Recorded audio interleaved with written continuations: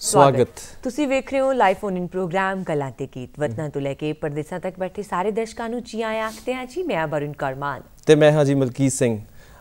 ਔਕੜਾਂ ਮੁਸੀਬਤਾਂ ਨਾ ਆਉਣ ਦੱਸ ਕੇ ਕੁਝ ਲੋਕ ਜ਼ਿੰਦਗੀ ਬਿਤਾਉਣ ਹੱਸ ਕੇ ਆਪਣੇ ਤੇ ਵਿਸ਼ਵਾਸ ਤੇ ਭਰੋਸਾ ਰੱਖ ਰੱਬ ਤੇ ਯਾਦਾਂ ਤੋਂ ਬਗੈਰ ਹੋਰ ਹੈ ਕੀ ਆ ਜੱਗ ਤੇ। ਕਿਉਂਕਿ ਇਹ ਸਾਡਾ ਜਿਹੜਾ ਸੰਸਾਰ ਆ ਇਸ ਵਿੱਚ ਦੁੱਖ ਸੁੱਖ ਜਿਹੜੇ ਆ ਉਹ ਚੱਲਦੇ ਰਹਿੰਦੇ ਆ। ਪਰ ਕਦੇ ਕਈ ਵਾਰੀ ਕੀ ਹੁੰਦਾ ਹੈ ਕਿ ਦੁੱਖ ਜ਼ਿਆਦਾ ਵੱਡੇ ਆ ਜਾਂਦੇ ਨੇ। ਉਹਨਾਂ ਦਾ ਸਾਨੂੰ ਸਾਹਮਣਾ ਕਰਨਾ ਪੈ ਔਰ ਉਹਨਾਂ ਦਾ ਸਾਹਮਣਾ ਕਰ ਕਮਰ ਕੱਸ ਕੇ। ਹੂੰ। ਤੇ ਉਹਨਾਂ ਵਿੱਚੋਂ ਬਾਹਰ ਨਿਕਲਣਾ ਜਿਹੜਾ ਉਹ ਵੀ ਇੱਕ ਤਪੱਸਿਆ ਨਾਲੋਂ ਘੱਟ ਨਹੀਂ। ਜੀ। ਕਿਉਂਕਿ ਜ਼ਿੰਦਗੀ ਜਿਹੜੀ ਹੈ ਅਨਮੋਲ ਹੈ। ਸੋ ਅੱਜ ਦਾ ਜਿਹੜਾ ਸਾਡਾ ਵਿਸ਼ਾ ਹੈ ਉਹ ਵੀ ਤੁਸੀਂ ਨੋਟ ਕਰ ਲਓ ਸਾਡਾ ਅੱਜ ਦਾ ਵਿਸ਼ਾ ਹੈ ਅਨਮੋਲ ਜ਼ਿੰਦਗੀ। ਇਸ ਦੇ ਬਾਰੇ ਗੱਲਬਾਤ ਕਰਨ ਲਈ ਸਾਡੇ ਨਾਲ ਤੁਸੀਂ ਫੋਨ ਨੰਬਰ ਮਿਲਾ ਕੇ ਪਹੁੰਚ ਸਕਦੇ ਹੋ। 0181284281 0181284281 ਇਹ ਦੋਨੋਂ ਲਾਈਨਾਂ ਜਿਹੜੀਆਂ ਤੁਹਾਡੇ ਲਈ ਖੁੱਲੀਆਂ ਨੇ। ਅਨਮੋਲ ਜ਼ਿੰਦਗੀ ਪ੍ਰੋਗਰਾਮ ਦੇ ਵਿੱਚ ਅੱਜ ਸਾਡੇ ਵਿਚਕਾਰ ਪ੍ਰੇਰਣਾ ਤੇ ਮਿਸਾਲ ਬਣ ਕੇ ਪਹੁੰਚੇ ਨੇ। ਪਰਵਿੰਦਰ ਸਿੰਘ ਜੀ।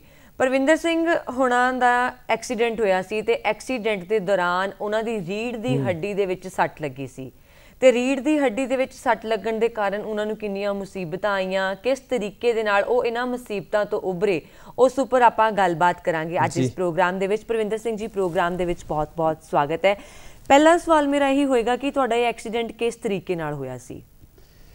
ਮੇਰਾ ਇਹ ਐਕਸੀਡੈਂਟ ਜਿਹੜਾ ਆ ਰੋਡ ਐਕਸੀਡੈਂਟ ਨਾਰਮਲੀ ਜਿੱਦਾਂ ਹੁੰਦੇ ਆ ਮੇਰਾ 1994 ਦੇ ਵਿੱਚ ਜੀ। ਅੱਜ- ਤੋਂ 25 ਸਾਲ ਪਹਿਲੇ ਬੱਸ ਔਰ ਟਰੱਕ ਦੇ ਆਪਣਾ ਜੀਪ ਦੇ ਵਿੱਚ ਮੈਂ ਜਾ ਰਿਹਾ ਸੀਗਾ ਔਰ ਸਾਹਮਣੇ ਉਹ ਟਰੱਕ ਵਾਲੇ ਨੂੰ ਨੀਂਦ ਆਣ ਕਰਕੇ ਉਹਨੇ ਟਰੱਕ ਜਿਹੜਾ ਆ ਜੀਪ ਦੇ ਵਿੱਚ ਹਿੱਟ ਕੀਤਾ। ਬਹੁਤ ਜੀਪ ਦੇ ਵਿੱਚ ਬਹੁਤ ਛੋਟੀ ਜੀ ਜਗ੍ਹਾ ਦੇ ਵਿੱਚ ਅੰਦਰ ਹੀ ਗਿਰਨ ਦੇ ਕਰਕੇ ਮੇਰੀ ਰੀੜ ਦੀ ਹੱਡੀ ਜਿਹੜੀ ਹੈ ਉਹ ਕ੍ਰੈਕ ਹੋ ਗਈ। ਔਰ ਸਾਨੂੰ ਇਸ ਬਾਰੇ ਕੋਈ ਅਵੇਅਰਨੈਸ ਨਹੀਂ ਸੀਗੀ ਕਿਸੇ ਤਰ੍ਹਾਂ ਦੀ ਵੀ ਉਥੋਂ ਦੀ ਸਾਨੂੰ ਹਸਪੀਟਲ ਲਿਜਾਇਆ ਗਿਆ। ਜੀ। ਜਿੱਥੇ ਕਿ ਟ੍ਰੀਟਮੈਂਟ ਵਗੈਰਾ ਹੋਇਆ ਤੇ ਇੱਕੋ ਹੀ ਚੀਜ਼ ਲੱਗੀ ਯਾਰ ਹਿੱਸਾ ਜਿਹੜਾ ਥਲੜਾ ਹਿੱਸਾ ਸੁੰਨ ਹੋ ਗਿਆ। ਅੱਛਾ। ਹੁਣ ਡਾਕਟਰਾਂ ਨੂੰ ਤਾਂ ਪਤਾ ਸੀਗਾ ਕਿ ਇਹ ਹੁਣ ਦੁਬਾਰਾ ਕਦੀ ਚੱਲ ਨਹੀਂ ਸਕਦਾ। ਹੂੰ। ਡਾਕਟਰਾਂ ਨੇ ਸਾਨੂੰ ਮੇਰੇ ਤੱਕ ਉਹ ਚੀਜ਼ ਨਹੀਂ ਮਤਲਬ ਮਾਪਿਆਂ ਨੂੰ ਤਾਂ ਦੱਸ ਦਿੱਤਾ। ਜੀ। ਮਾਪਿਓ ਸਾਨੂੰ ਦੱਸ ਨਹੀਂ ਸੀ ਪਾ ਰਹੇ ਵੀ ਕਿ ਚੱਲਦਾ ਫਿਰਦਾ ਬੰਦਾ ਜਿਹੜਾ ਆ ਉਹ ਇੱਕਦਮ ਹੁਣ ਸਾਰੀ ਜ਼ਿੰਦਗੀ ਕਦੀ ਚੱਲ ਨਹੀਂ ਮੈਂ- ਮੈਂ ਸਕੇਗਾ ਮਾਫੀ ਚਾਹੁੰਦੀ 24 ਸਾਲ ਪਹਿਲਾਂ ਗੱਲ ਕੀਤੀ ਹੈ ਤੇ ਉਦੋਂ ਤਾਂ ਉਮਰ ਵੀ ਬਹੁਤ ਛੋਟੀ ਹੋਏਗੀ ਤੁਹਾਡੀ 16 ਸਾਲ ਦਾ ਸੀ ਜੀ ਮੈਂ ਬਹੁਤ. ਛੋਟੀ ਉਮਰ ਦੇ ਵਿੱਚ ਮਤਲਬ ਇਹ ਐਕਸੀਡੈਂਟ ਹੋਇਆ। ਜੀ ਔਰ ਕਰੀਬ ਮੈਂ ਜਦੋਜਹਿਦ ਜਿਹੜੀ ਹੈ 5 ਸਾਲ ਬੈੱਡ ਦੇ ਉੱਪਰ ਹੀ ਚੱਲਦੀ ਰਹੀ ਜਿਹੜੀਆਂ ਕੰਪਲਿਕੇਸ਼ਨਸ ਹੈ ਇਸ ਬਿਮਾਰੀ ਤੋਂ ਬਾਅਦ ਇਸ। ਐਕਸੀਡੈਂਟ ਤੋਂ ਬਾਅਦ ਤੁਹਾਡੀ ਪਰਿਵਾਰ ਦੀ ਸਪੋਰਟ ਦੇ ਨਾਲ ਉਹ। ਕਦੀ ਇੱਥੇ ਲੈ ਜਾ ਕਦੀ ਉੱਥੇ ਲੈ ਜਾ ਜਿਸ ਤਰ੍ਹਾਂ ਕੋਈ ਮਾਲਿਸ਼ ਵਾਲਾ ਆ ਗਿਆ ਹੂੰ, ਹੂੰ, ਹੂੰ। ਕੋਈ ਇਹ ਬਾਬੇ ਕੋਲ ਚਲੇ ਜਾਓ। ਕਿਸੇ ਤਰੀਕੇ ਨਾਲ। ਲੇਕਿਨ ਕਿਸੇ ਨੇ ਸਹੀ ਗਾਈਡ ਨਹੀਂ ਕੀਤਾ ਕਿਸੇ ਨੇ। ਸਹੀ ਅਵੇਅਰ ਨਹੀਂ ਕੀਤਾ ਜੀ ਔਰ ਉਹ ਬੈੱਡ ਤੇ ਰਹਿਣ ਕਰਕੇ ਫਿਰ bed sores problem urine infection ਦੀਆਂ ਪ੍ਰੋਬਲਮਸ ਜਿਨ੍ਹਾਂ ਦੇ ਵਿੱਚ ਹੀ ਮਤਲਬ ਉਲਝ ਕੇ ਰਹਿ ਗਏ ਜੀ 5 ਸਾਲ ਬਾਅਦ ਕਿਉਂਕਿ ਇਹ ਐਕਸੀਡੈਂਟ ਮੈਨੂੰ ਇਦਾਂ ਲੱਗਦਾ ਹੈ ਕਿ ਇੱਕ ਬੰਦੇ ਦਾ ਨਹੀਂ ਹੈ। ਇਹ ਐਕਸੀਡੈਂਟ ਜਿਹੜਾ ਹੈ। ਪੂਰੇ ਪਰਿਵਾਰ ਦਾ ਹੈ। ਪੂਰੇ ਪਰਿਵਾਰ ਦਾ। ਪੂਰਾ ਪਰਿਵਾਰ ਮੇਰੇ ਤੇ ਹੀ ਮਤਲਬ ਲੱਗਾ ਰਹਿੰਦਾ ਸੀਗਾ। ਹਰ ਵੇਲੇ ਬਈ ਇਹਦੀ ਹੁਣ ਐਕਸਰਸਾਈਜ਼ ਕਰਾਣੀ ਇਹਨੂੰ ਨਵਾਣਾ ਇਹਨੂੰ ਧਵਾਣਾ ਇਹਨੂੰ ਡਾਕਟਰ ਕੋਲ ਲੈ ਕੇ ਜਾਣਾ। ਕਦੀ ਕੋਈ ਹਰ ਬੰਦੇ ਨੇ ਇੱਕ ਤਰ੍ਹਾਂ ਦਾ ਫਾਇਦਾ ਚੱਕਣਾ ਮਤਲਬ ਮਾਲਿਸ਼ ਵਾਲਾ ਕੋਈ ਆ ਗਿਆ ਮੈਂ ਠੀਕ ਕਰ ਦੇਣਾ ਜੀ ਮੈਂ ਠੀਕ ਕਰ ਦੇਣਾ। ਕਿਉਂਕਿ ਇਹ ਇਹ ਜਿਹੜੀ ਹੈ ਨਾ ਤੁਹਾਡਾ ਐਕਸੀਡੈਂਟ ਜਿਹੜੀ ਐਕਸੀਡੈਂਟ ਦੀ ਗੱਲ ਕਰ ਰਹੇ ਹੋ ਬੜੀ ਛੋਟੀ ਉਮਰ 16 ਸਾਲ ਦਾ ਬੱਚਾ ਇੱਕ ਛੋਟੀ ਉਮਰ ਹੁੰਦੀ ਆ ਜਦੋਂ ਜਵਾਨੀ ਚੜ੍ਹਨ ਵਾਲੀ ਹੁੰਦੀ ਆ ਤੇ ਬੰਦੇ ਉੱਭਰਨ ਲੱਗਦੇ ਨੇ। ਉੱਭਰਨ ਲੱਗਦੇ ਆ। ਉਸ ਸਮੇਂ ਐਕਸੀਡੈਂਟ ਹੋ ਜਾਣਾ ਬੜੀ ਦੁੱਖ ਵਾਲੀ ਗੱਲ ਹੁੰਦੀ ਹੈ ਬਚਪਨ ਦੇ ਵਿੱਚ ਜਦੋਂ ਕੋਈ ਬੱਚਾ ਜਮਾਂਦਰੂ ਪੈਦਾ ਕੋਈ ਉਦਾਂ ਦਾ ਹੋਵੇ ਤੇ ਉਹ ਹੌਲੀ ਹੌਲੀ ਆਪਣੇ ਆਪ ਨੂੰ ਉਦਾਂ ਦਾ ਢਾਲ ਲੈਂਦਾ। ਪਰ ਜਦੋਂ ਕੋਈ ਸਹੀ ਹੋਵੇ ਅਚਾਨਕ ਉਸ ਦੇ ਨਾਲ ਇਦਾਂ ਦਾ ਵਾਕਿਆ ਹੋ ਜੇ ਫਿਰ ਉਸ ਦੇ ਹਾਲਾਤ ਕਿਹੋ ਜਿਹੇ ਹੋ ਜਾਂਦੇ? ਤੁਸੀਂ ਸਮਝ ਸਕਦੇ ਹੋ ਜੀ ਮਾਪੇ ਤੇ ਵੀ ਕੀ ਬੀਤਦੀ ਹੋਏਗੀ। ਜੇ ਬੱਚੇ ਨੇ ਬੱਚੇ ਨੇ ਜਵਾਨੀ 'ਚ ਪੈਰ ਰੱਖਿਆ ਤੇ ਉਦੋਂ ਹੀ ਉਹਦਾ ਮਤਲਬ ਐਕਸੀਡੈਂਟ ਹੋ ਜਾਏ ਔਰ ਮਾਪੇ ਨੂੰ ਪਤਾ ਚੱਲੇ ਵੀ ਹੁਣ ਇਹ ਸਾਡਾ ਬੱਚਾ ਕਦੀ ਚੱਲ ਨਹੀਂ ਸਕਦਾ। ਬਿਲਕੁਲ। ਔਰ ਆਮ ਤੌਰ ਤੇ ਰਿਸ਼ਤੇਦਾਰਾਂ ਦਾ ਵੀ ਇਹ ਰੱਬ ਇਹਨੂੰ ਹੁਣ ਸਾਂਭ ਲੈ। ਸਾਂਭ ਲੈ। ਵੀ ਜੋ ਸਿਚੁਏਸ਼ਨਸ ਜੋ ਕੰਡੀਸ਼ਨਸ ਬਣ ਜਾਂਦੀਆਂ। ਹੂੰ। ਜਦੋਂ ਇਹਨਾਂ ਚੀਜ਼ਾਂ ਦਾ ਸਾਹਮਣਾ ਕਰਦੇ ਆ ਫਿਰ ਇੱਕ ਟਾਈਮ ਆਇਆ ਜਦੋਂ ਪਤਾ ਲੱਗਾ ਕਿ ਯਾਰ ਅਸੀਂ ਤਾਂ ਜੀ ਸਕਦੇ ਹਾਂ। ਜੀ ਸਕਦੇ ਔਰ ਜੀ ਜੀਣ ਵਾਸਤੇ ਤੁਹਾਨੂੰ ਜਦੋਂ ਮੈਂ ਇੱਕ ਦਿੱਲੀ ਦੇ ਵਿੱਚ ਰੀਹੈਬ ਸੈਂਟਰ 1994 ਚ ਮੇਰਾ ਐਕਸੀਡੈਂਟ ਹੋਇਆ 97 ਦੇ ਵਿੱਚ ਇੱਕ ਰੀਹੈਬ ਸੈਂਟਰ ਤਿਆਰ ਹੋਇਆ। ਇੰਡੀਅਨ ਸਪਾਈਨਲ ਇੰਜਰੀ ਸੈਂਟਰ ਅੱਛਾ ਜੀ। ਜਿੱਥੇ ਡਾਕਟਰ ਵਗੈਰਾ ਜਿਹੜਾ ਉਹ ਹਸਪੀਟਲ ਬਣਾਇਆ ਗਿਆ ਉਹ ਮੇਜਰ ਆਲੂਵਾਲੀਆ ਜੀ ਨੇ ਬਣਾਇਆ ਸੀਗਾ। ਜੀ। ਜੀ। ਮੇਜਰ ਆਲੂਵਾਲੀਆ 1965 ਦੀ ਜੰਗ ਵਿੱਚ ਉਹਨਾਂ ਦੇ ਗਰਦਨ ਦੇ ਵਿੱਚ ਗੋਲੀ ਲੱਗੀ ਸੀ। ਉਹਨਾਂ ਦੇ ਹੱਥ ਵੀ ਨਹੀਂ ਸੀ ਚੱਲਦੇ। ਅੱਛਾ ਜੀ। ਉਹਨਾਂ ਨੇ ਦੇਖਿਆ ਕਿ ਮੇਰੇ ਵਰਗੇ ਹੋਰ ਕਿੰਨੇ ਪੂਰੇ ਭਾਰਤ ਦੇ ਵਿੱਚ ਬਹੁਤ ਸਾਰੇ ਲੋਕ ਹੈ ਜਿਨ੍ਹਾਂ ਵਾਸਤੇ ਮੈਂ ਇੱਕ ਮਤਲਬ ਸੈਂਟਰ ਤਿਆਰ ਕਰਨਾ ਸੈਂਟਰ ਤਿਆਰ ਕਰ ਸਕਦਾ। ਜਦੋਂ ਮੈਂ ਉਸ ਸੈਂਟਰ ਦੇ ਵਿੱਚ ਗਿਆ ਮੈਂ ਦੇਖਿਆ ਯਾਰ ਇਹ ਬੰਦਿਆਂ ਦੇ ਤਾਂ ਹੱਥ ਵੀ ਨਹੀਂ ਚੱਲਦੇ। ਜੀ। ਔਰ ਇਹ ਆਪਣੀ ਜ਼ਿੰਦਗੀ ਜੀ ਰਹੇ ਹੈ ਜੀ। ਖੁਸ਼ ਨੇ ਆਪਣੀ ਔਰ ਬੜੀ। ਵਧੀਆ ਤਰੀਕੇ ਨਾਲ ਜੀ ਰਿਹਾ ਹੈ ਤੇ ਮੈਂ ਪਰਮਾਤਮਾ ਰੱਬ ਅੱਗੇ ਹੱਥ ਜੋੜੇ ਮੈਂ ਕਿਹਾ ਪਰਮਾਤਮਾ ਮੇਰੇ ਤਾਂ ਹੱਥ ਵੀ ਚੱਲਦੇ ਆ। ਹੂੰ। ਤੇ ਮੈਂ ਕਿਉਂ ਨਹੀਂ ਜੀ ਸਕਦਾ? ਜੀ। ਉਹ ਦਿਨ ਮੇਰਾ ਮੈਂਟਲ ਕਿਉਂਕਿ ਮੈਨੂੰ ਉਸ ਦਿਨ ਸਮਝ ਆਈ ਜਿਹੜੀ ਡਿਸੇਬਿਲਿਟੀ ਹੈ ਜਾਂ ਪ੍ਰੋਬਲਮ ਹੈ ਉਹ ਇੱਥੇ ਹੂੰ ਉਹ ਜਿਹੜੀ ਤੁਹਾਡੀ ਡਿਸੇਬਿਲਿਟੀ ਆ ਉਹ ਡਿਫਰੈਂਟਲੀ ਏਬਲ ਚ ਬਦਲ ਗਈ। ਉਹ ਸਾਰਾ ਮੇਰਾ ਜਿਹੜਾ ਸੀਗਾ ਫੋਕਸ ਜਿਹੜਾ ਮੈਂ ਕਿਹਾ ਪਰਮਾਤਮਾ ਮੈਨੂੰ ਇੱਕ ਮੌਕਾ ਚਾਹੀਦਾ ਆ। ਔਰ ਮੈਂ ਆਪਣੇ ਆਪ ਨੂੰ ਵਾਪਸ ਮਤਲਬ ਜਿਹੜਾ ਹੈਗਾ ਆ ਕੁਝ ਕਰਕੇ ਕੁਝ ਬਣ ਕੇ ਦਿਖਾਣਾ ਹੈ ਜੀ ਜੀ। ਉਸ ਦਿਨ ਤੋਂ ਬਾਅਦ ਮੈਂ ਪਿੱਛੇ ਮੁੜ ਕੇ ਕਦੀ ਨਹੀਂ ਦੇਖਿਆ। ਕੀ ਬਾਤ ਹੈ। ਪਰ ਇਹਦੇ ਵਿੱਚ ਮੈਨੂੰ ਗਵਾਣਾ ਬਹੁਤ ਕੁਝ ਪਿਆ। ਜੀ। ਮੇਰੇ ਫਾਦਰ ਸਾਹਿਬ ਉਹ ਇੰਟਰਨਲੀ ਮਤਲਬ ਉਹ ਵੀ 1999 ਦੇ ਵਿੱਚ ਸਾਡਾ ਸਾਥ ਜਿਹੜਾ ਆ ਉਹ ਛੱਡ ਗਏ। ਓਕੇ। ਫਿਰ ਅਸੀਂ ਇੱਥੇ ਆਏ ਜਦੋਂ ਵਾਪਸ ਮੈਂ ਜਲੰਧਰ ਆ ਕੇ ਸਾਰਾ ਦੇਖਿਆ ਮੈਂ ਕਿਹਾ ਵੀ ਕੁਝ ਬਹੁਤ ਜ਼ਰੂਰਤ ਆ। ਮੇਰੇ ਵਰਗੇ ਹੋਰ ਪਤਾ ਨਹੀਂ ਕਿੰਨੀ ਕੁ ਦੁਨੀਆ ਆ। ਅ, ਕਿਉਂ ਨਾ ਆਪਾਂ- ਇਸ ਤੋਂ ਪਹਿਲਾਂ ਮੈਂ ਤੁਹਾਨੂੰ ਇਹ ਪੁੱਛਣਾ ਚਾਹੁੰਦਾ ਕਿ ਤੁਹਾਡੀ ਫੈਮਿਲੀ ਦੇ ਵਿੱਚ ਹੋਰ ਕੌਣ ਕੌਣ ਨੇ? ਫੈਮਿਲੀ 'ਚ ਮੇਰੇ ਮਦਰ ਸੀਗੇ ਔਰ ਮੇਰੇ ਦੋ ਬ੍ਰਦਰ ਸੀਗੇ ਛੋਟੇ। ਜਿਨ੍ਹਾਂ ਦਾ ਪਾਪਾ ਤੋਂ ਬਾਅਦ ਫਿਰ ਸਾਡੀ ਰਿਸਪੌਂਸਿਬਿਲਟੀ ਮਦਰ ਔਰ ਅਸੀਂ ਜੀ। ਦੇਖਣਾ ਸੀਗਾ। ਜੀ। ਤੇ 2011 ਚ ਮਦਰ ਵੀ ਨਹੀਂ ਮਤਲਬ ਰਹੇ। ਅੱਛਾ। ਤੇ ਬ੍ਰਦਰਸ ਦੀ ਫੈਮਿਲੀ ਸਪੋਰਟ ਇੰਨੀ ਜ਼ਿਆਦਾ ਸੀਗੀ ਕਿ ਭਰਾਵਾਂ ਦਾ ਸਾਥ ਇੰਨਾ ਵਧੀਆ ਸੀਗਾ। ਕਦੀ ਅੱਜ ਤੱਕ ਕਿਸੇ ਚੀਜ਼ ਦੀ ਸਾਨੂੰ ਮਤਲਬ ਕਮੀ ਮਹਿਸੂਸ ਤੇ ਨਹੀਂ ਹੋਈ। ਪਰਮਿੰਦਰ ਸਿੰਘ ਆਪਣੇ ਆਪ ਨੂੰ ਮਾਨਸਿਕ ਤੌਰ ਤੇ ਮਜ਼ਬੂਤ ਕਿਵੇਂ ਰੱਖਦੇ ਨੇ ਹੱਲੇ ਤੱਕ? ਪਰਵਿੰਦਰ ਸਿੰਘ ਦੇ ਜਿਹੜਾ ਸਰਕਲ ਹੈ ਉਹ ਇੰਨਾ ਕੁ ਵਧੀਆ ਹੈ ਉਹਦੇ ਯਾਰ ਦੋਸਤ ਜਿਹੜੇ ਆ ਉਹ ਜੀ। ਇੰਨੇ ਕੁ ਵਧੀਆ ਨੇ ਉਹਦੀ। ਫੈਮਿਲੀ ਸਪੋਰਟ ਇੰਨੀ ਵਧੀਆ ਹੈ ਜੀ। ਉਹਨੂੰ ਕਦੀ ਮਤਲਬ ਮਹਿਸੂਸ ਹੀ ਨਹੀਂ ਹੋਇਆ। ਉਹਨੂੰ ਜੇ ਪਰਮਾਤਮਾ ਨੇ ਉਹਦੇ ਕੋਲੋਂ ਕੁਝ ਲਿੱਤਾ। ਉਹਨੂੰ ਬਹੁਤ ਕੁਝ ਦਿੱਤਾ ਵੀ। ਜੀ ਜੀ। ਹਰ ਸਾਲ ਕਿੰਨੇ ਕੇਸ ਸਾਹਮਣੇ ਆ ਜਾਂਦੇ ਆ? ਦੇਖੋ ਸਾਲ ਦੇ ਵਿੱਚ ਕਰੀਬ ਕਰੀਬ 20000 ਇੰਜਰੀਜ਼ ਹੁੰਦੀਆਂ ਆ। ਜੋ ਰੀੜ ਦੀ ਹੱਡੀ ਜਿਨ੍ਹਾਂ ਦੇ ਇਫੈਕਟ ਆਂਦਾ ਆ ਰੀੜ ਦੀ ਹੱਡੀ ਦਾ ਜਿਨ੍ਹਾਂ ਦੇ ਇਫੈਕਟ ਆਂਦਾ ਜੀ। ਔਰ ਬਹੁਤ ਹੀ ਮਤਲਬ ਦੁੱਖ ਨਾਲ ਔਰ ਦਰਦ ਨਾਲ ਇਹ ਕਹਿਣਾ ਪੈਂਦਾ ਹੈ ਕਿ ਜਿਨ੍ਹਾਂ ਵਿੱਚੋਂ ਕਰੀਬ 19900 ਬੰਦਾ ਮੈਂ ਕਹਿ ਸਕਦਾ ਆ ਕਿ ਜਿਹੜਾ ਬੈੱਡ ਤੇ ਹੀ ਖਤਮ ਹੋਣ ਲਈ ਮਜਬੂਰ ਹੋ ਜਾਂਦਾ ਕਿਉਂਕਿ ਉਹਨੂੰ ਕੋਈ ਅਵੇਅਰ ਨਹੀਂ ਕਰਦਾ। ਜੀ। ਅਸੀਂ ਤੁਹਾਡੀ ਗੱਲ ਤੇ ਵਾਪਸ ਆਉਂਦੇ ਆ ਮਾਫੀ ਚਾਹੁੰਦੇ ਕਾਲਰ ਆ ਚੁੱਕੇ ਪਹਿਲਾਂ ਉਹਨਾਂ ਨਾਲ ਗੱਲਬਾਤ ਕਰ ਲਈ ਹੈਲੋ ਹਾਂਜੀ? ਜੀ। ਸਵਾਗਤ ਹੈ ਜੀ ਪ੍ਰੋਗਰਾਮ ਗੱਲਾਂ ਤੇ ਗੀਤ ਦੇ ਵਿੱਚ। ਹਾਂਜੀ ਮੈਂ ਵਿਜੇ ਕੁਮਾਰ ਖੈਰਾ ਜੀ। ਜੀ। ਜੀ ਸਵਾਗਤ ਹੈ ਜੀ। ਹਾਂਜੀ ਹਾਂਜੀ। ਆਪਣਾ ਸਵਾਲ ਪੁੱਛ ਸਕਦੇ ਹੋ ਤੁਸੀਂ? ਹਾਂਜੀ ਹਾਂਜੀ ਹਾਂਜੀ। ਮੈਂ ਵਿਜੇ ਕੁਮਾਰ ਜੀ ਤੇ ਹਾਂ ਖੈਰਾ ਜੀ ਹਾਂਜੀ। ਭਾਜੀ ਤਾਂ ਇਹਨਾਂ ਨੂੰ ਪਰਮਾਤਮਾ ਨੇ ਜਿਹੜੀ ਫੇਰ ਵੀ ਜ਼ਿੰਦਗੀ ਜਿਹੜੀ ਬਖਸ਼ੀ ਆ ਮੈਂ ਇੱਥੇ ਜੀਟੀ ਰੋਡ ਦੇ ਉੱਪਰ ਹੀ ਪਿੰਡਿਆ ਆਪਣੇ ਟੀਵੀ ਸੈੱਟ ਦੀ ਆਵਾਜ਼ ਤੁਸੀਂ ਪਲੀਜ਼ ਘਟਾ ਦਿਓ। ਹਾਂਜੀ ਲੋ ਜੀ ਮੈਂ ਘਟਾਤੀ ਜੀ। ਜੀ। ਜੀ। ਹਾਂਜੀ। ਤੁਸੀਂ ਆਪਣੀ ਗੱਲ ਜਿਹੜੀ ਹੈ ਲਗਾਤਾਰ ਜਾਰੀ ਰੱਖੋ ਫੋਨ ਦੇ ਰਾਹੀਂ। ਹਾਂਜੀ ਠੀਕ ਹੈ ਜੀ। ਜੀ। ਹਾਂਜੀ ਹਾਂਜੀ। ਹੈਲੋ। ਹੈਲੋ। ਹਾਂਜੀ ਹਾਂਜੀ। ਮੈਂ ਫੇਰ ਵੀ ਆਪਣੇ ਵੀਰ ਜੀ ਨੂੰ ਇਹ ਕਹੂੰਗਾ ਵੀ ਬਹੁਤ ਫੇਰ ਵੀ ਪਰਮਾਤਮਾ ਨੇ ਇਹਨਾਂ ਨੂੰ ਬੱਚਿਆਂ ਦੇ ਬੈਠਣ ਦਾ ਇਹਨਾਂ ਨੂੰ ਮੌਕਾ ਦਿੱਤਾ। ਪਰ ਮੈਂ ਜੀਟੀ ਰੋਡ ਦੇ ਉੱਪਰ ਰਿਹਾ ਤੇ ਮੈਂ ਇੰਨੇ ਐਕਸੀਡੈਂਟ ਭਾਰੇ ਦੇਖਦਾ ਵੀ ਕਿਸੇ ਦੀ ਲੱਤ ਬਾਹਰ ਟੁੱਟ ਜਾਂਦੀ ਹੈ ਜਾਂ ਕਿਸ ਤਰ੍ਹਾਂ ਜੀ। ਇਹੀ ਬਹੁਤ ਹੈ ਜੀ ਜਿਹੜਾ ਇਹਨਾਂ ਦੀ ਜ਼ਿੰਦਗੀ ਜਿਹੜੀ ਬਹੁਤ ਫੇਰ ਵੀ ਚਲੋ ਪਰਮਾਤਮਾ ਦਾ ਸ਼ੁਕਰ ਕਰਨਾ ਚਾਹੀਦਾ ਵੀ ਜਿਹੜੀ ਇਹਨਾਂ ਦੀ ਜਾਨ ਬਚ ਗਈ ਜੀ। ਜੀ। ਹਾਂਜੀ ਹਾਂਜੀ। ਜੀ ਬਹੁਤ ਬਹੁਤ ਸ਼ੁਕਰੀਆ ਜੀ ਫੋਨ ਜਾਨ ਕਰਨ ਹੈ ਦੇ ਤਾਂ ਲਈ। ਜਹਾਨ ਹੈ। ਆਪਾਂ ਗੱਲ ਕਰ ਰਹੇ ਸੀਗੇ ਕਿ ਕਿੰਨੇ ਐਕਸੀਡੈਂਟਸ ਹੁੰਦੇ ਨੇ। ਹਾਂ। ਹਾਂ ਭਾਈ ਭੈਣ ਜੀ ਮੇਰਾ ਹਾਂ ਜੀਟੀ ਰੋਡ ਦੇ ਉੱਤੇ ਹੀ ਹੈ ਪਿੰਡ ਖੈਰਾ ਜੀ। ਮਤਲਬ ਮੈਂ ਬਹੁਤ ਭਿਆਨਕ ਭਿਆਨਕ ਐਕਸੀਡੈਂਟ ਦੇਖਦਾ ਜੀ। ਜੀ ਜੀ। ਬਹੁਤ ਸ਼ੁਕਰੀਆ ਜੀ ਕਾਲ ਕਰਨ ਦੇ ਲਈ। ਜੀ। ਆਪਾਂ ਗੱਲ ਕਰ ਰਹੇ ਸੀ। ਐਕਸੀਡੈਂਟ ਲੱਤ ਟੁੱਟ ਜਾਏ ਬਾਹ ਟੁੱਟ ਜਾਏ ਲੱਤ ਨਕਲੀ ਲੱਗ ਜਾਂਦੀ ਹੈ ਬਾਹ ਨਕਲੀ ਲੱਗ ਜਾਂਦੀ ਜੀ। ਹੈ। ਜੀ। ਤੁਹਾਡੇ ਫ੍ਰੈਕਚਰ ਹੋ ਜਾਣ ਚਾਰ ਫ੍ਰੈਕਚਰ ਹੋ ਜਾਣ 6 ਹੋ ਜਾਣ ਤੁਸੀਂ 6 ਮਹੀਨੇ ਚ ਠੀਕ ਹੋ ਜਾਂਦੇ ਹੋ ਹੋ ਜਾਂਦੇ 2 ਹੋ। ਮਹੀਨੇ ਚ ਠੀਕ ਹੋ ਜਾਂਦੇ ਹੋ। ਲੇਕਿਨ ਇਹ ਰੀੜ ਦੀ ਹੱਡੀ ਇੱਕ ਇਦਾਂ ਦੀ ਪ੍ਰੋਬਲਮ ਹੈ ਜਿਹਦਾ ਵਰਲਡ ਦੇ ਵਿੱਚ ਕੋਈ ਇਲਾਜ ਨਹੀਂ। ਜਿਹਦੇ ਵਿੱਚ ਤੁਹਾਡਾ ਇੱਕ ਨਵਾਂ ਜਨਮ ਹੈ। ਤੁਸੀਂ। ਨਵੇਂ ਤਰੀਕੇ ਦੇ ਨਾਲ ਆਪਣੀ ਜ਼ਿੰਦਗੀ ਨੂੰ ਆਪਣੇ ਹਰ ਚੀਜ਼ ਲਈ ਤੁਹਾਨੂੰ ਲੜਨਾ ਪੈਂਦਾ ਹੈ। ਜੀ। ਹਰ ਰੋਜ਼ ਸਵੇਰੇ ਉੱਠ ਕੇ ਤੁਹਾਨੂੰ ਐਕਸਰਸਾਈਜ਼ ਕਰਨੀ ਪੈਂਦੀ ਹੈ। ਤਾਂ ਜੋ ਤੁਸੀਂ ਇੱਕ ਮੋਬਾਈਲ ਦੀ ਤਰ੍ਹਾਂ ਆਪਣੇ ਆਪ ਨੂੰ ਚਾਰਜ ਕਰਨਾ ਪੈਂਦਾ ਹੈ। ਜੀ। ਔਰ ਉਹ ਬੈਟਰੀ ਜਿਹੜੀ ਹੈ ਜਿੰਨੀ ਦੇਰ ਤੱਕ ਚੱਲਦੀ ਹੈ ਫਿਰ ਦੁਬਾਰਾ ਤੁਹਾਨੂੰ ਫਿਰ ਐਕਸਰਸਾਈਜ਼ ਮਤਲਬ ਇੱਕ ਫਿਜ਼ੀਓਥੈਰੇਪੀ ਇੱਕ ਮੈਨੂਅਲੀ ਜ਼ਿੰਦਗੀ ਜਿਹੜੀ ਹੈ ਉਹ ਜੀਣੀ ਪੈਂਦੀ ਹੈ। ਤੁਹਾਡੇ ਮਤਲਬ ਹਰ ਚੀਜ਼ ਦਾ ਤਰੀਕਾ ਬਦਲ ਜਾਂਦਾ ਹੈ। ਤੁਹਾਡੇ ਰਹਿਣ ਦਾ ਤੁਹਾਡੇ ਖਾਣ ਦਾ ਤੁਹਾਡੇ ਮਤਲਬ ਲਾਈਫ ਜਿਹੜੀ ਹੈ ਟੋਟਲੀ ਚੇਂਜ ਹੋ ਜਾਂਦੀ ਹੈ। ਟੋਟਲੀ ਜਿਹੜੀ ਹੈ ਉਹ ਬਦਲ ਜਾਂਦੀ ਹੈ। ਉਹਨੂੰ। ਐਕਸੈਪਟ ਹੀ। ਕਰਨਾ ਆਪਣੇ ਆਪ ਦੇ ਵਿੱਚ ਇੱਕ ਬਹੁਤ ਵੱਡਾ ਚੈਲੰਜ ਹੈ। ਤੁਹਾਨੂੰ ਗਾਣੇ ਸੁਣਨੇ ਪਸੰਦ ਹੈ ਪਰਮਿੰਦਰ ਸਿੰਘ ਜੀ? ਬਹੁਤ ਤੁਹਾਨੂੰ ਸੁਣਾਈਏ ਫਿਰ ਇਹ ਗਾਣਾ ਦਿਖਾਈਏ। ਚਲੋ ਪ੍ਰੋਗਰਾਮ ਗੱਲਾਂ ਤੇ ਗੀਤ ਦੇ ਵਿੱਚ ਵੇਲਾ ਜੀ ਇੱਕ ਗੀਤ ਦਾ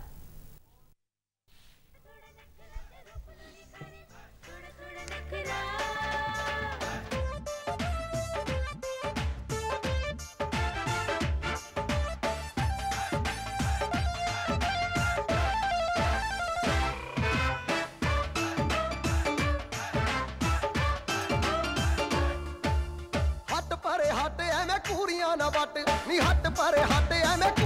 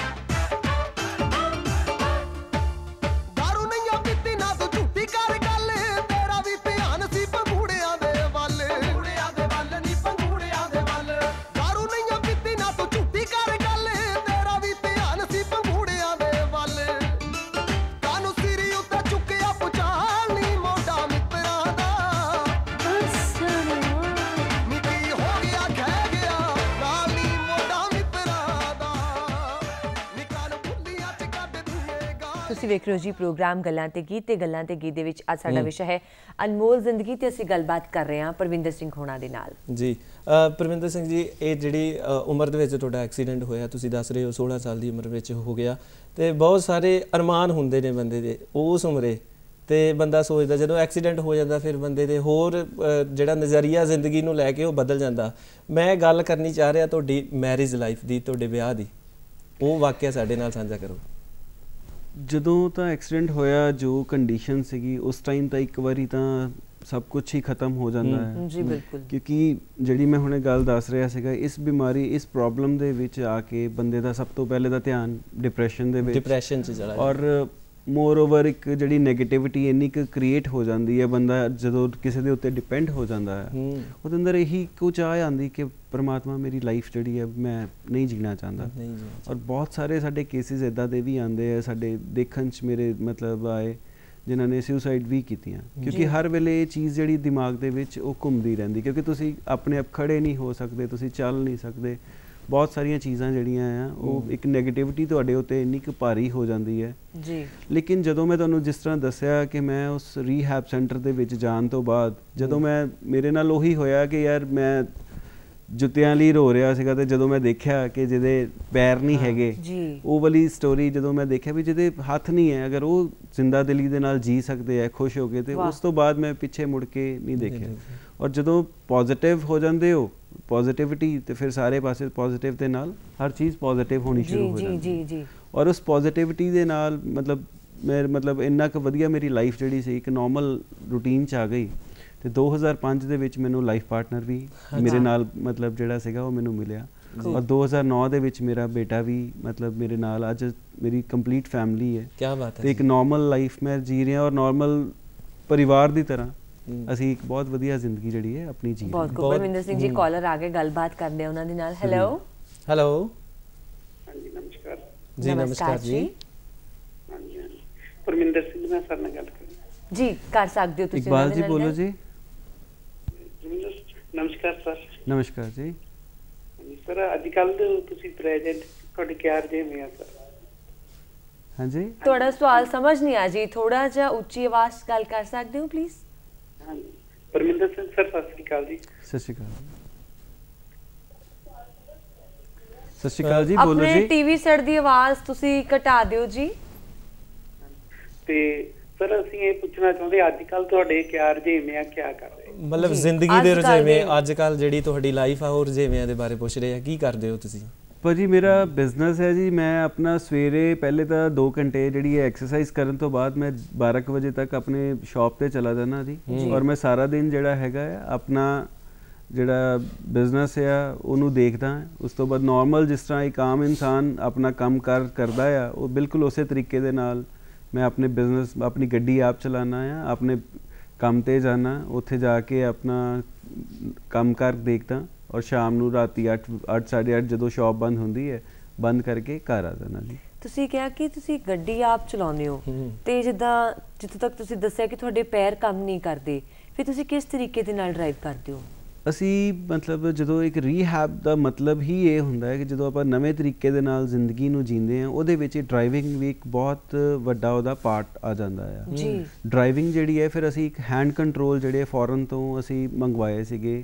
ਉਹ ਹੈਂਡ ਕੰਟਰੋਲ ਕਾਰਸ ਦੇ ਵਿੱਚ ਅੱਜਕੱਲ ਆਟੋਮੈਟਿਕ ਕਾਰਸ ਆ ਉਹਨਾਂ ਦੇ ਵਿੱਚ ਹੈਂਡ ਕੰਟਰੋਲ ਲੱਗ ਜਾਂਦਾ ਹੈ। ਅੱਛਾ ਜੀ। ਔਰ ਉਹ ਹੈਂਡ ਕੰਟਰੋਲ ਦੇ ਨਾਲ ਬ੍ਰੇਕ ਔਰ ਰੇਸ ਤੁਹਾਡੀ ਹੱਥ ਦੇ ਵਿੱਚ ਆ ਜਾਂਦੀ ਹੈ। ਅੱਛਾ। ਔਰ ਅਸੀਂ ਉਹ ਫਿਰ ਕਾਰ ਜਿਹੜੀ ਹੈ ਆਪਣੇ ਮਤਲਬ ਬ੍ਰੇਕ ਔਰ ਰੇਸ ਹੱਥ ਦੇ ਵਿੱਚ ਹੋਣ ਕਰਕੇ ਹੈਂਡ ਕੰਟਰੋਲ ਦੇ ਨਾਲ ਬੜੀ ਈਜ਼ੀਲੀ ਮਤਲਬ ਇੱਕ ਨਾਰਮਲ ਡਰਾਈਵ ਕਰ ਸਕਦੇ ਹਾਂ ਜੀ ਜੀ ਜੀ ਜੀ ਔਰ ਉਹ ਹੈਂਡ ਕੰਟਰੋਲ ਅੱਜ ਦੀ ਡੇਟ ਦੇ ਵਿੱਚ ਮਤਲਬ ਇੱਥੇ ਹੀ ਕਰਨਾਲ ਦੇ ਵਿੱਚ ਡਿਵੈਲਪ ਕਰਵਾ ਲਏ ਹੋਏ ਆ ਔਰ ਦੋ 150 ਤੋਂ 200 ਗੱਡੀਆਂ ਅਸੀਂ ਮਤਲਬ ਜਿਹੜੀਆਂ ਆ ਉਹ ਸਾਡੇ ਨਾਲ ਦੇ ਜਿੰਨੇ ਵੀ ਮੇਰੇ ਵੀਰ ਹੈਗੇ ਆ ਉਹ ਆਪਣੀ। ਗੱਡੀਆਂ ਆਪ ਚਲਾ ਰਹੇ ਆ ਔਰ। ਨਾਰਮਲ ਜ਼ਿੰਦਗੀ ਜੀ ਰਹੇ ਆ ਤੇ ਲਾਇਸੈਂਸ ਦੀ ਪ੍ਰੋਬਲਮ ਨਹੀਂ ਆਉਂਦੀ ਇਦਾਂ ਬਿਲਕੁਲ ਨਹੀਂ ਜੀ ਆਰਟੀਓ ਆਫਿਸ ਦੇ ਵਿੱਚ ਇਨਵੈਲਿਡ ਕੈਰੇਜ ਦੇ ਲਾਇਸੈਂਸ ਸਾਡੇ ਵਾਸਤੇ ਸਪੈਸ਼ਲ ਬਣ ਜਾਂਦੇ ਆ ਜਿਨ੍ਹਾਂ। ਨੂੰ ਅਸੀਂ ਮਤਲਬ ਲੀਗਲੀ ਮਤਲਬ ਵੀ ਕੈਨ ਡਰਾਈਵ। ਔਰ ਸਾਡੇ ਆਪਣੇ ਲਾਇਸੈਂਸ ਜਿਹੜੇ ਆ ਉਹ ਬਣੇ ਹੋਏ ਆ। ਤੁਸੀਂ ਦੱਸਿਆ ਕਿ ਤੁਸੀਂ ਸਪਾਈਨਲ ਕੋਰਡ ਇੰਜਰੀ ਐਸੋਸੀਏਸ਼ਨ ਦੇ ਪ੍ਰੈਜ਼ੀਡੈਂਟ ਵੀ ਹੋ ਪ੍ਰਧਾਨ ਵੀ ਹੋ।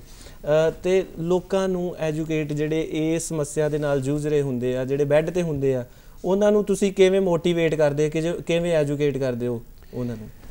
ਸਪਾਈਨਲ ਕਾਰਡ ਇੰਜਰੀ ਐਸੋਸੀਏਸ਼ਨ ਅਸੀਂ ਅੱਜ ਤੋਂ ਕਰੀਬ 7-8 ਸਾਲ ਪਹਿਲੇ ਅਸੀਂ ਐਸੋਸੀਏਸ਼ਨ 4-5 ਦੋਸਤਾਂ ਦਾ ਇੱਕ ਸੁਪਨਾ ਸੀਗਾ। ਅੱਛਾ ਜੀ। ਵੀ ਅਸੀਂ ਸਾਨੂੰ ਲੱਗਾ ਕਿ ਬਹੁਤ ਜ਼ਿਆਦਾ ਜ਼ਰੂਰਤ ਹੈ। ਲੋਕ ਜਿਹੜੇ ਹੈ ਡਿਪਰੈਸ਼ਨ ਦੇ ਵਿੱਚ ਨੇ ਜਾਂ ਮੰਜਿਆਂ ਦੇ ਉੱਤੇ ਨੇ ਉਹਨਾਂ ਨੂੰ ਅਸੀਂ ਕਿਸ ਤਰੀਕੇ ਦੇ ਨਾਲ ਬਾਹਰ ਨਿਕਾਲ ਸਕਦੇ ਹਾਂ। ਜੀ। ਫਿਰ ਅਸੀਂ 4-5 ਦੋਸਤਾਂ ਨੇ ਮਤਲਬ ਇੱਕ ਸ਼ੁਰੂ ਕੀਤਾ ਟਰੈਕ ਕਰਨਾ ਮਤਲਬ ਪਤਾ ਲਗਾਉਣਾ ਕਿ ਕਿੱਥੇ ਕਿਹੜਾ ਸਪਾਈਨਲ ਕਾਰਡ ਦਾ ਬੰਦਾ ਆ। ਟਰੈਕ ਕਰਨਾ ਉਹਨੂੰ ਟਰੇਸ ਕਰਕੇ ਫਿਰ ਉਹਨੂੰ ਇੱਕ ਨਾਰਮਲ ਲਾਈਫ ਦੇ ਵਿੱਚ ਲੈ ਕੇ ਆਣਾ ਸਭ ਤੋਂ ਪਹਿਲੇ ਉਹਨੂੰ ਵੀਲ ਚੇਅਰ ਦੇਣੀ ਅੱਛਾ ਜੀ ਕਿ ਵੀਲ ਚੇਅਰ ਨਹੀਂ ਹੈ ਤੇਰੇ ਪੈਰ ਹੈ ਪਹਿਲੇ ਤਾਂ। ਬੈੱਡ ਤੋਂ ਉੱਠ ਵੀਲ ਚੇਅਰ ਤੇ ਬੈਠ ਆਪਣੀ ਲਾਈਫ ਨੂੰ ਨਾਰਮਲ ਸਾਡਾ ਮਕਸਦ ਇਹੀ ਹੁੰਦਾ ਸੀ ਵੀ ਅਸੀਂ ਇੱਕ ਬੰਦੇ ਨੂੰ ਨਿਕਾਲਣ ਦਾ ਇੱਕ ਬੰਦੇ ਨੂੰ ਨਹੀਂ ਉਹਦਾ ਪੂਰਾ ਪਰਿਵਾਰ ਬਾਹਰ ਕੱਢਣਾ ਬਾਹਰ। ਕੱਢਣਾ ਕਿਉਂਕਿ ਜੀ। ਜੇ ਅਸੀਂ ਉਹ ਬੰਦੇ ਨੂੰ ਮੈਂਟਲੀ ਅਸੀਂ ਸੈੱਟ ਕਰ ਲਿਆ। ਤੇ ਅਸੀਂ ਉਹਦਾ ਇੱਕ ਤਰੀਕੇ ਦੇ ਨਾਲ ਪੂਰਾ ਪਰਿਵਾਰ ਬਾਹਰ ਕੱਢ ਲਿਆ ਤੇ ਉਹ ਸਾਡਾ ਜਿਹੜਾ ਮਕਸਦ ਸੀਗਾ ਅਸੀਂ ਫਿਰ ਉਹਨੂੰ ਪੁੱਛਣਾ ਵੀ ਤੂੰ ਕਿਸੇ ਨੂੰ ਅੱਗੇ? ਹੂੰ। ਉਹਨੇ ਕਹਿਣਾ ਭਾਜੀ ਮੈਂ ਉਹਨੂੰ ਜਾਣਦਾ। ਅੱਛਾ। ਉਹ ਚੇਨ ਜਿਹੜੀ ਸੀ ਉਹ ਪੰਜ ਬੰਦਿਆਂ ਤੋਂ ਜਿਹੜੀ ਚੇਨ ਹੈ ਅੱਜ ਕਰੀਬ ਪਰਮਾਤਮਾ ਨੇ ਮਤਲਬ 5000 ਬੰਦਾ ਇਸ ਐਸੋਸੀਏਸ਼ਨ ਦੇ ਨਾਲ ਜੁੜਿਆ ਹੋਇਆ। ਅੱਛਾ ਜੀ। ਆਲ ਓਵਰ ਇੰਡੀਆ ਦੇ ਵਿੱਚ ਅਸੀਂ ਇੱਕ ਦੂਸਰੇ ਦੇ ਨਾਲ ਜੁੜੇ ਹੋਏ ਹਾਂ। ਅਸੀਂ ਆਪਣੀਆਂ ਪ੍ਰੋਬਲਮਸ ਡਿਸਕਸ ਕਰਦੇ ਹਾਂ। ਔਰ ਕਈ ਵਾਰੀ ਡਾਕਟਰ ਦੇ ਸਮਝਾਉਣ ਨਾਲ ਜਾਂ ਪਰਿਵਾਰ ਦੇ ਸਮਝਾਉਣ ਨਾਲ ਜਿਹੜੀਆਂ ਗੱਲਾਂ ਸਮਝ ਨਹੀਂ ਆਉਂਦੀਆਂ ਉਹ ਜਦੋਂ ਅਸੀਂ ਆਪਣੇ ਨਾਲਦਿਆਂ ਨੂੰ ਦੇਖਦੇ ਹਾਂ ਆਪਣੇ ਵਰਗਿਆਂ ਨੂੰ ਦੇਖਦੇ ਹਾਂ ਹੁਣ। ਵੀ ਜਿਹੜਾ ਕੋਈ ਦੇਖ ਰਿਹਾ ਹੋਏਗਾ ਹੂੰ। ਕਹੇਗਾ ਯਾਰ ਇਹ ਬੰਦਾ ਕਰ ਸਕਦਾ ਤੇ ਮੈਂ ਕਿਉਂ ਨਹੀਂ ਕਰ। ਸਕਦਾ ਇਹ ਇਹ ਜਿਹੜਾ। ਤੁਸੀਂ ਸਾਰਾ ਕਾਰ ਵਿਹਾਰ ਕਰਦੇ ਹੋ ਇਹ ਤੁਸੀਂ ਇੰਟਰਨੈਟ ਦੇ ਥਰੂ ਕਰਦੇ ਹੋ ਕੋਈ ਐਪ ਬਣਾਈ ਹੋਈ ਜਾਂ ਕਿਵੇਂ ਕਰਦੇ ਹੋ ਜਿਹੜੀ ਸਾਡੀ ਕਨੈਕਟੀਵਿਟੀ ਹੈ ਉਹ ਫੇਸਬੁੱਕ ਦੇ ਰਾਹੀਂ ਸਭ ਤੋਂ ਜ਼ਿਆਦਾ ਜਿਹੜੀ ਹੈ ਸਾਨੂੰ ਫੇਸਬੁੱਕ ਜਿਹੜਾ ਮਾਧਿਅਮ ਸੀਗਾ ਇਹ ਬਹੁਤ ਵਧੀਆ ਮਤਲਬ ਇਹਨੇ ਸਾਨੂੰ ਬਹੁਤ ਇੱਕ ਦੂਸਰੇ ਦੇ ਨਾਲ ਜੋੜਿਆ ਜੀ ਫਿਰ ਅਸੀਂ ਹਰ ਸਾਲ ਇੱਕ ਪ੍ਰੋਗਰਾਮ ਕਰਨਾ ਸ਼ੁਰੂ ਕੀਤਾ ਵਿਸਤਾਰ ਜੀ। ਅੱਛਾ। ਵਿਸਤਾਰ ਦੇ ਵਿੱਚ ਜਦੋਂ ਅਸੀਂ ਪਹਿਲਾ ਪ੍ਰੋਗਰਾਮ ਵਿਸਤਾਰ ਦਾ ਕੀਤਾ ਅੱਜ ਤੋਂ ਮਤਲਬ ਉਹਦੇ ਵਿੱਚ ਅਸੀਂ 올 ਓਵਰ ਇੰਡੀਆ ਤੋਂ ਸਾਰਿਆਂ ਨੂੰ ਇਨਵਾਈਟ ਕੀਤਾ ਇੱਕ ਜਗ੍ਹਾ ਦੇ ਉੱਤੇ ਇਕੱਠੇ ਹੋਣ ਵਾਸਤੇ। ਜੀ। ਇੱਕ ਬਹੁਤ ਵੱਡਾ ਜਲੰਧਰ ਦਾ ਅਦਾਰਾ ਆ ਜਿੱਥੇ ਅਸੀਂ ਉਹਨਾਂ ਨੂੰ ਇਕੱਠੇ ਕਰੀਦਾ ਆ ਹਰ ਜੀ। ਸਾਲ। ਅੱਛਾ ਜੀ। ਉੱਥੇ ਨਾਲ ਤਾਂ ਉਹਨਾਂ ਨੇ ਸਾਨੂੰ ਐਜੂਕੇਸ਼ਨ ਦਾ ਦੇਤਾ ਵੀ ਕੋਈ ਵੀ ਬੱਚਾ ਅੱਜ ਵੀ ਜਿਹੜਾ ਕੋਈ ਟੀਵੀ ਦੇਖ ਰਿਹਾ ਹੈ ਪੜ੍ਹਨਾ ਚਾਹੁੰਦਾ ਹੈ ਜਿਹੜਾ ਸਪਾਈਨਲ ਕਾਰਡ ਇੰਜਰੀ ਦਾ ਹੈ ਰੋਡ ਐਕਸੀਡੈਂਟ ਤੋਂ ਬਾਅਦ ਉਹਦੇ ਵਾਸਤੇ ਫ੍ਰੀ ਐਜੂਕੇਸ਼ਨ ਤੇ ਫ੍ਰੀ ਅਕੋਮੋਡੇਸ਼ਨ ਜਿਹੜੀ ਹੈ ਉਸ ਆਧਾਰ ਤੇ ਇਸ ਵਕਤ ਉੱਥੇ ਕਰੀਬ 30 ਬੱਚੇ ਪੜ ਰਹੇ। ਹੈ ਔਰ ਹਰ ਸਾਲ 30 ਬੱਚੇ ਪੜ ਕੇ ਨਿਕਲ ਜਾਂਦੇ ਆ 25 30 ਬੱਚੇ ਅੱਗੋਂ ਹਰ ਸਾਲ ਨਵੇਂ ਆ ਜਾਂਦੇ ਜੀ ਜੀ ਜੀ ਔਰ ਅਸੀਂ ਵਰਲਡ ਦੀ ਸਭ ਤੋਂ ਵੱਡੀ ਕਾਨਫਰੰਸ ਉੱਥੇ ਹਰ ਸਾਲ ਕਰਦੇ ਹਾਂ ਮਤਲਬ। ਜਿੱਥੇ 올 ਓਵਰ ਇੰਡੀਆ ਤੋਂ ਜਿੱਦਨ ਪਹਿਲਾ ਸਾਲ ਸੀਗਾ ਕਰੀਬ 100 ਬੰਦਾ ਅਸੀਂ ਇਕੱਠਾ ਕਰ ਪਾਏ ਜੀ ਹੂੰ। ਦੂਸਰੀ ਵਾਰ ਉਹ 250 ਹੋ ਗਿਆ ਤੀਸਰੀ ਵਾਰ ਉਹ 450 ਹੋ ਗਿਆ ਚੌਥੀ ਵਾਰ ਉਹ 550 600 ਮਤਲਬ 550 600 ਬੰਦਾ ਵੀਲ ਚੇਅਰ ਤੇ ਇੱਕ ਜਗ੍ਹਾ ਇਕੱਠਾ ਕਰਨਾ ਆਪਣੇ ਆਪ ਦੇ ਵਿੱਚ ਇੱਕ ਮਤਲਬ ਜਿਹੜਾ ਬਹੁਤ ਇੱਕ- ਵੱਡਾ ਜਿਹੜਾ ਕੰਮ ਇੱਕ ਨਾਰਮਲ ਇਨਸਾਨ ਨਹੀਂ ਕਰ ਸਕਦਾ ਉਹ ਵੀ ਤੁਸੀਂ ਕਰਕੇ ਦਿਖਾਇਆ। ਇੱਕ ਕਾਲਰ ਜੁੜ ਚੁੱਕੇ ਨੇ ਸਾਡੇ ਨਾਲ ਉਹਨਾਂ ਨਾਲ ਗੱਲ ਕਰਦੇ ਹਾਂ। ਹੈਲੋ ਹੈਲੋ ਸਤਿ ਸ਼੍ਰੀ ਅਕਾਲ ਸਰ। ਸਤਿ ਸ਼੍ਰੀ ਅਕਾਲ ਜੀ। ਸਲੂਟ ਹੈ ਸਰ ਜੀ ਸਲੂਟ ਹੈ। ਬਹੁਤ ਬਹੁਤ ਧੰਨਵਾਦ ਜੀ। ਸਲੂਟ ਹੈ ਸਰ। ਮੈਂ ਤਾਂ ਸਰ ਤੁਹਾਡੀ ਬਹਾਦਰੀ ਦੀ ਬਸ ਕੋ ਕਹਿ ਨਹੀਂ ਸਕਦਾ ਸਰ। ਮੈਂ ਲੁੱਟ ਲਿਆ ਸਰ ਤੁਹਾਡੀ ਅੱਜ ਮੈਨੂੰ ਜੀ। ਬਹੁਤ ਬਹੁਤ ਧੰਨਵਾਦ ਜੀ ਰਾਮ ਸਾਏ ਜੀ। ਸਰ ਮੇਰਾ ਇੱਕ ਦੋਸਤ ਸੀਗਾ ਜੀ ਮੈਂ ਹਾਕੀ ਪਲੇਅਰ ਆ ਸਰ ਉਹ, ਬੱਸ ਤੋਂ ਡਿੱਗਿਆ ਸੀ ਕਿਲਾ ਰਾਏਪੁਰ ਜੀ। ਜੀ। ਜੀ ਸਰ। ਆ ਉਹਦੀ ਸਰ ਰੀੜ ਦੀ ਹੱਡੀ ਖਤਮ ਹੋਣ ਤੋਂ ਬਾਅਦ ਸਰ ਉਹ ਬੰਦਾ 3 ਮਹੀਨੇ ਬੈੱਡ ਤੇ ਹੀ ਰਹਿ ਕੇ ਬਸ ਗਈ ਜ਼ਿੰਦਗੀ ਇਦਾਂ ਹੀ ਸਰ। ਅੱਛਾ ਜੀ। ਬਹੁਤ ਅੱਛਾ ਪਲੇਅਰ ਸੀ ਧਨ ਧਿਆਨ ਸਿੰਘ ਨਾਂ ਸੀ ਜੀ ਮੁੰਡੇ ਦਾ। ਹੂੰ ਹੂੰ ਹੂੰ। ਤੇ ਕਿਲਾ ਰਾਏਪੁਰ ਖੇਡਾਂ ਹੁੰਦੀਆਂ ਸਰ, ਉੱਥੇ ਉਹ ਉੱਪਰ ਗੇਟ ਬਣਿਆ ਸੀ, ਉਹਦੇ ਵਿੱਚੋਂ ਬੱਸ ਦੇ ਉੱਤੇ ਚੜ ਗਏ ਜੀ, ਉਹਦੇ ਵਿੱਚ ਫਸ ਗਏ ਸਰ। ਹੂੰ। ਸਾਡਾ ਇਹੀ ਮਕਸਦ ਹੈ ਜੀ, ਅਸੀਂ ਇਹੀ ਚਾਹੁੰਦੇ ਹਾਂ ਕਿ ਕੋਈ ਵੀ ਬੰਦਾ ਜਿਹੜਾ ਆ ਰੀੜ ਦੀ ਹੱਡੀ ਦੀ ਸੱਟ ਲੱਗਣ ਤੋਂ ਬਾਅਦ ਉਹਨੂੰ ਅਸੀਂ ਅਵੇਅਰ ਕਰ ਸਕੀਏ ਔਰ ਅਸੀਂ ਉਹਨੂੰ ਇਹ ਦੱਸ ਸਕੀਏ ਕਿ ਜ਼ਿੰਦਗੀ ਇੱਥੇ ਖਤਮ ਨਹੀਂ ਹੁੰਦੀ। ਤੁਸੀਂ ਆਪਣੀ ਲਾਈਫ ਨੂੰ ਅਗਰ ਤੁਹਾਨੂੰ ਸਹੀ ਤਰੀਕੇ ਦੀ ਗਾਈਡੈਂਸ ਮਿਲ ਜਾਵੇ ਤੇ ਤੁਸੀਂ ਆਪਣੀ ਲਾਈਫ ਨਾਰਮਲ ਬੰਦੇ ਦੀ ਤਰ੍ਹਾਂ ਬਿਤਾ ਸਕਦੇ ਹੋ। ਇਹੀ ਇਸ ਐਸੋਸੀਏਸ਼ਨ ਦਾ ਮਕਸਦ ਆ। ਇਹੀ ਐਸੋਸੀਏਸ਼ਨ ਇਹ ਕਰ ਰਹੀ ਹੈ। ਔਰ ਅੱਗੇ ਆਉਣ ਵਾਲੇ ਟਾਈਮ ਦੇ ਵਿੱਚ ਔਰ ਅੱਜ ਸਾਨੂੰ ਖੁਸ਼ੀ ਬਹੁਤ ਇਸ ਗੱਲ ਦੀ ਖੁਸ਼ੀ ਹੈ। ਮੇਰੇ ਵਰਗੇ ਅੱਗੇ ਇੱਕ ਪਰਵਿੰਦਰ ਨਹੀਂ ਹੈ। ਮੇਰੇ ਨਾਲ ਮੇਰੇ ਦਵਿੰਦਰ ਵੀਰ ਆ ਅਬੇ ਡੋਗਰਾ ਆ ਗੁਰਵਿੰਦਰ ਹੈਗਾ ਆ। ਸਾਡੇ ਸਾਰਿਆਂ ਦਾ ਮਕਸਦ ਇਹੀ ਹੈ ਕਿ ਅਸੀਂ ਇਦਾਂ ਦੇ ਹਜ਼ਾਰਾਂ ਪਰਵਿੰਦਰ ਹਜ਼ਾਰਾਂ ਗੁਰਵਿੰਦਰ ਹਜ਼ਾਰਾਂ ਦਵਿੰਦਰ ਇਕੱਠੇ ਕਰ ਦਈਏ ਹੂੰ। ਤਾਂ ਜੋ ਇੱਥੇ ਕੋਈ ਵੀ ਬੰਦਾ ਰੀੜ ਦੀ ਹੱਡੀ ਦੀ ਸੱਟ ਲੱਗਣ ਤੋਂ ਬਾਅਦ ਬੈੱਡ ਤੇ ਨਾ ਮਰੇ ਉਹ ਆਪਣੀ ਨਾਰਮਲ ਲਾਈਫ ਜਿਹੜੀ ਨਾਰਮਲ ਜ਼ਿੰਦਗੀ ਜੀ ਸਕੇ ਤੁਹਾਡੇ ਨਾਲ ਦੂਸਰੇ ਲੋਕ ਵੀ ਜੁੜੇ ਹੋਏ ਨੇ ਆਮ ਲੋਕ ਵੀ ਜੁੜੇ ਹੋਏ ਨੇ ਆਮ ਹਰ ਇੱਕ ਦਾ ਪਰਿਵਾਰ ਉਹਦੇ ਨਾਲ ਜੁੜਿਆ ਹੀ ਹੋਇਆ ਜੀ ਆਪਣੇ ਆਪ ਹੀ। ਜੁੜ ਜਾਂਦੇ ਸਾਡੇ। ਨਾਲ ਆਲਮੋਸਟ ਜਿੰਨੇ ਵੀ ਮੇਰੇ ਖਿਆਲ 6-7 ਡੀਸੀ ਨੇ। ਜਿਹੜੇ ਸਾਡੀ ਐਸੋਸੀਏਸ਼ਨ ਦੇ ਨਾਲ ਜੁੜੇ ਹੋਏ ਨੇ ਜਿਹੜੇ। ਰਾਈਟ ਨਾਓ ਵਰਿੰਦਰ ਜੀ ਨੇ ਇਸ ਤੋਂ ਪਹਿਲੇ ਕਮਲ ਕਿਸ਼ੋਰ ਯਾਦਵ ਜੀ ਸੀਗੇ। ਜਿੰਨੇ ਵੀ ਸੀਪੀ ਸਾਡੇ ਜਿਹੜੇ ਪੈਟਰਨ ਨੇ ਉਹ ਐਡੀਸ਼ਨਲ ਡੀਜੀਪੀ ਜਿਹੜੇ ਇਸ ਵਕਤ ਅਰਪਿਤ ਸ਼ੁਕਲਾ ਜੀ ਨੇ ਜੀ। ਔਰ ਸ਼ਰੂਤੀ ਮੈਡਮ ਨੇ। ਉਹ ਮਤਲਬ ਸਾਡੇ ਨਾਲ ਬਹੁਤ ਅੱਛੇ ਤਰ੍ਹਾਂ ਐਸੋਸੀਏਟ ਮਤਲਬ ਜੁੜੇ ਹੋਏ ਇੱਕ ਨਾ ਮੇਰੇ ਮਾਈਂਡ ਦੇ ਵਿੱਚ ਸਵਾਲ ਆ ਰਿਹਾ ਕਿ ਜਿਹੜੀ ਤੁਸੀਂ ਵੀਲ ਚੇਅਰ ਚੇਅਰ ਦੀ ਗੱਲ ਕੀਤੀ ਹੈ ਕਿ ਇਹ ਕੋਈ ਸਪੈਸ਼ਲ ਹੁੰਦੀ ਆ ਇਹ ਤੁਹਾਨੂੰ ਕਿੱਥੋਂ ਪ੍ਰੋਵਾਈਡ ਹੁੰਦੀ ਆ? ਇੱਕ ਇਸ ਦੇ ਨਾਲ ਤੁਸੀਂ ਮੈਨੂੰ ਇਹ ਦੱਸੋ ਕਿ ਮੈਡੀਸਿਨ ਜਿਹੜੀ ਦਵਾਈ ਆ ਉਹ ਵੀ ਕਹਿੰਦੇ ਆ ਕਿ ਚੱਲਦੀ ਰਹਿੰਦੀ ਆ। ਕੀ ਇਹ ਹਮੇਸ਼ਾ ਤੱਕ ਚੱਲਦੀ ਰਹਿੰਦੀ ਆ ਦਵਾਈ ਜਿਹੜੀ ਹੈ ਇਹਦੇ ਵਿੱਚ ਸਭ ਤੋਂ ਵੱਡੀ ਦਵਾਈ ਹੈ ਜੀ ਐਕਸਰਸਾਈਜ਼ ਓਕੇ ਜਦੋਂ ਤੁਸੀਂ ਅਗਰ ਮਤਲਬ ਗਾਈਡੈਂਸ ਅਵੇਅਰਨੈਸ ਜਿਹੜੀ ਹੈ ਔਰ ਅਵੇਅਰਨੈਸ ਦੇ ਨਾਲ ਨਾਲ ਮਤਲਬ ਜਿਹੜੀ ਫਿਜ਼ੀਓਥੈਰੇਪੀ ਹੈ। ਜੀ ਜੀ। ਇਹੀ ਇਹਦਾ ਟ੍ਰੀਟਮੈਂਟ ਹੈ ਜੀ। ਸਭ ਤੋਂ ਵੱਡਾ ਜਿਹੜਾ ਟ੍ਰੀਟਮੈਂਟ ਹੈ ਇਹਦਾ ਫਿਜ਼ੀਓਥੈਰੇਪੀ ਹੀ ਹੈ। ਅਸੀਂ ਆਪਣੇ ਦਰਸ਼ਕ ਨੂੰ ਇੱਕ ਨੂੰ ਹੋਰ ਇਨਵਾਈਟ ਕਰਦੇ ਆ ਜੀ ਆਪਣੇ ਪ੍ਰੋਗਰਾਮ ਦੇ ਵਿੱਚ। ਹੈਲੋ ਸਰ ਜੀ ਜੀ ਸਵਾਗਤ ਹੈ ਜੀ ਪ੍ਰੋਗਰਾਮ ਗੱਲਾਂ ਤੇ ਗੀਤ ਵਿੱਚ। ਸਰ ਜੀ ਸਤਿ ਸ੍ਰੀ ਅਕਾਲ ਸਾਰੇ ਸਟਾਫ ਨੂੰ ਜੀ। ਸਤਿ ਸ਼੍ਰੀ ਅਕਾਲ ਜੀ। ਹਾਂਜੀ ਸਰ ਜੀ ਮੈਂ ਮੇਰੇ ਮੋਟਰਸਾਈਕਲ ਦਾ ਐਕਸੀਡੈਂਟ ਹੋ ਗਿਆ ਸੀ ਗੱਡੀ ਨਾਲ 1997 ਚ ਜੀ ਮੈਂ ਵੀ ਹੈਂਡੀਕੈਪਟ ਹਾਂ ਸਰ ਜੀ। ਹਾਂ। ਤੇ ਸਰ ਜੀ ਮੈਂ ਗੱਡੀ ਡਰਾਈਵ ਕਰਦਾ ਜੀ ਤੁਹਾਡੇ ਵਾਂਗੂ ਤੇ ਉਹਦੇ ਲਾਇਸੈਂਸ ਨਹੀਂ ਮੇਰੇ ਕਈ ਵਾਰੀ ਨਾ ਟ੍ਰੈਫਿਕ ਚ ਲਾਇਸੈਂਸ ਮੰਗਦੇ ਆ ਜੀ ਕਹਿੰਦੇ ਲਾਇਸੈਂਸ ਦਿਓ।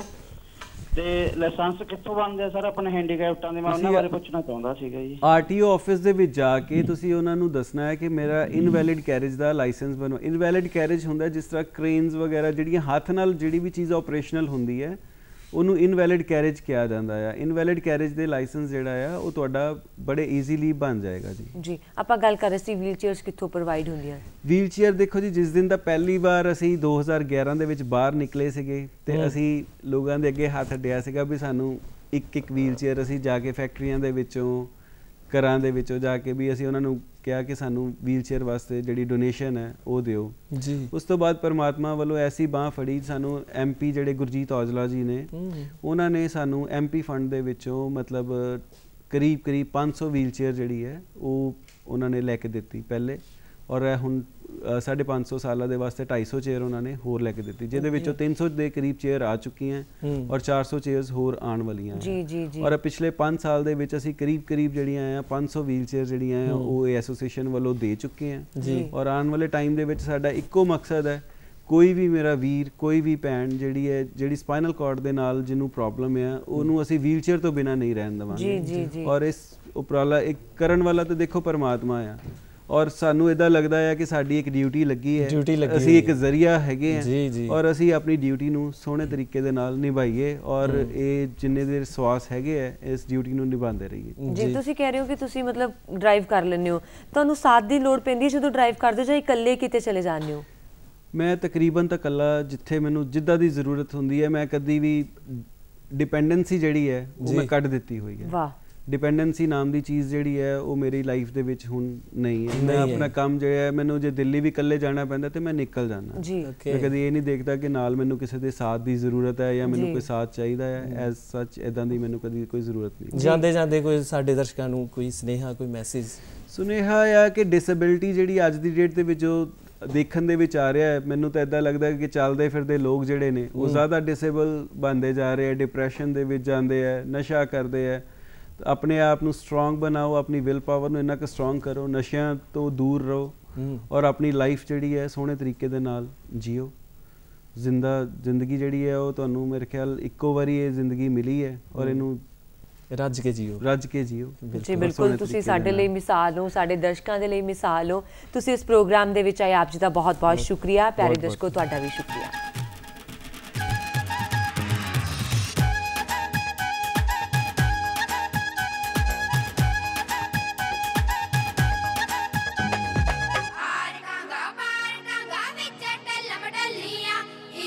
Papa, me.